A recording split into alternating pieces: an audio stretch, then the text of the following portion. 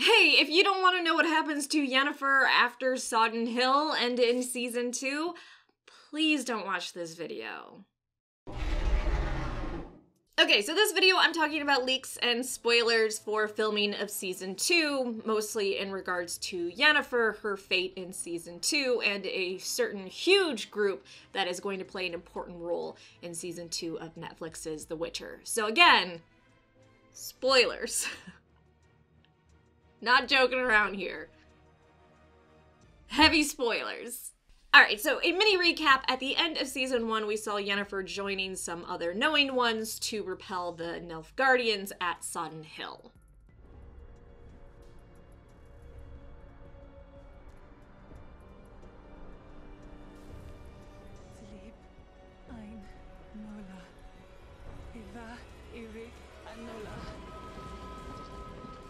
And through her unleashing her chaos, she was able to defeat a good chunk of the Nilfgaardians and delay the rest until reinforcements from the Northern Kingdoms arrived to take over.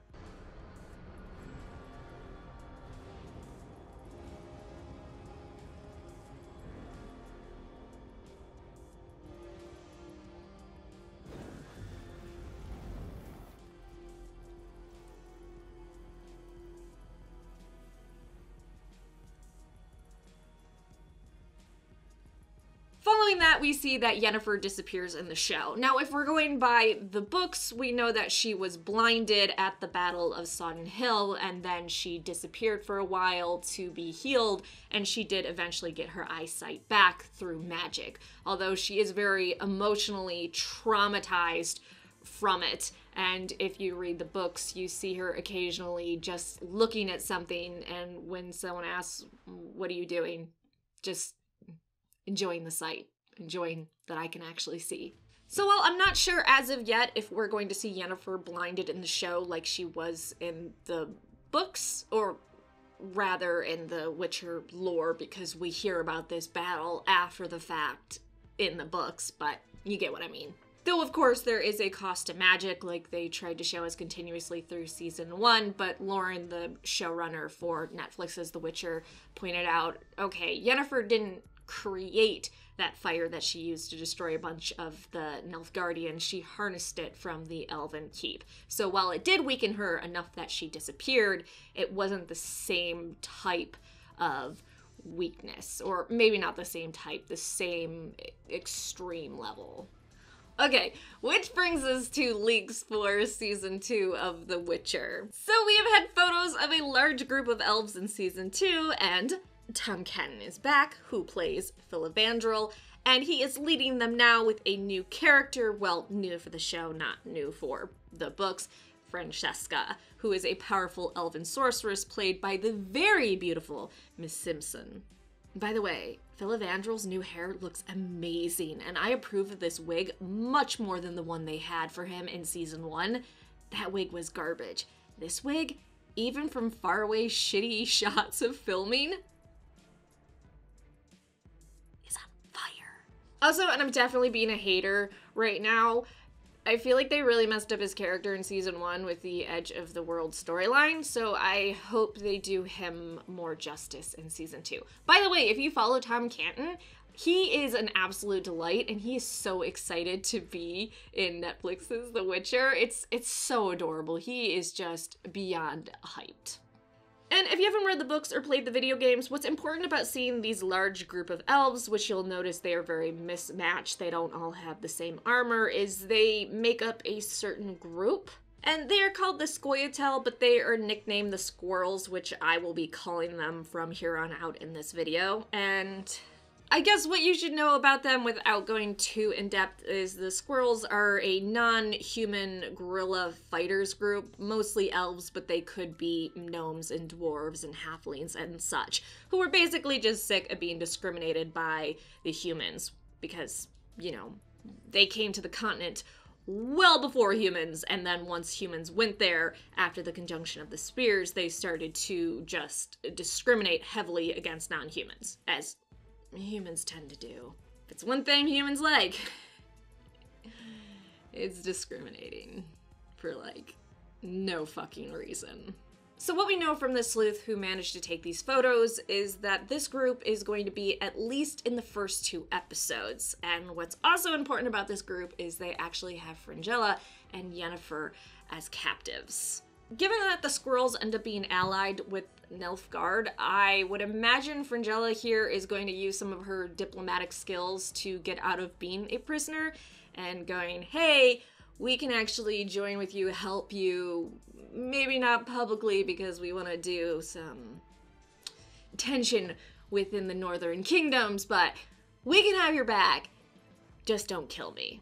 And if you think that's weird because the squirrels are made up of non humans that are sick of humans discriminating against them, and the Nilfgaardians are humans, it's an allyship of convenience. Which I'm not going to spoil how it turns out, but not great. Well, for a certain side. Was that ominous enough? So, in season two of The Witcher, for the first two episodes, you can expect to see some heavy focus on the squirrels and also to see Yennefer and Fringilla being captives of them. And where it goes from there, we'll have to see. Obviously, Yennefer is going to either be let go or escape at some point because she has a much further storyline with Geralt and Ciri, and she is one of the main characters of the show. They're not going to kill her in season two. I just. I know that would be super shocking and no one would see it coming. It, it's not to happen. Yennefer's pretty safe. Although, and just me spitballing here, I understand that they're making Triss very different than how she is presented in the books. So, are we going to see a Triss Geralt romance in this show? Because they're kind of making Triss to be very strong, independent woman, not throw herself all over Geralt. Because she gets a little pathetic about Geralt in the books. I'm sorry, she does. She's more of a Bamf in the games. I mean, she's a Bamf in the books, of course. She just gets a little desperate for that Geralt dick in the books more so than I feel comfortable reading about.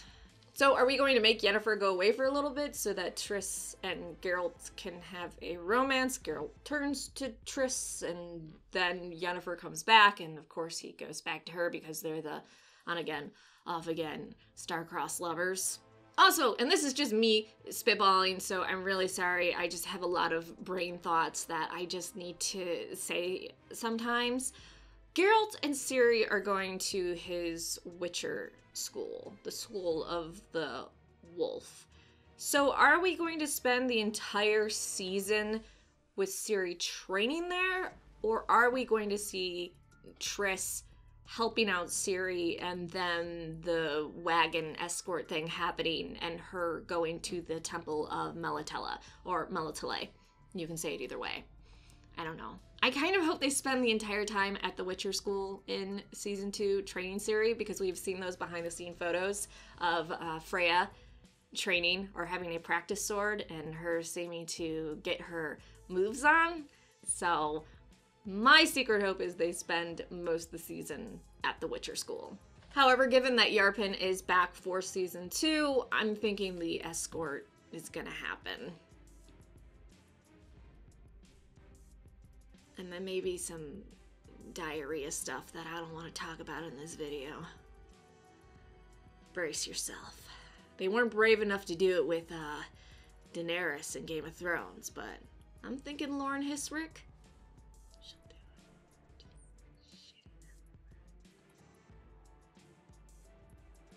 That's so disturbing.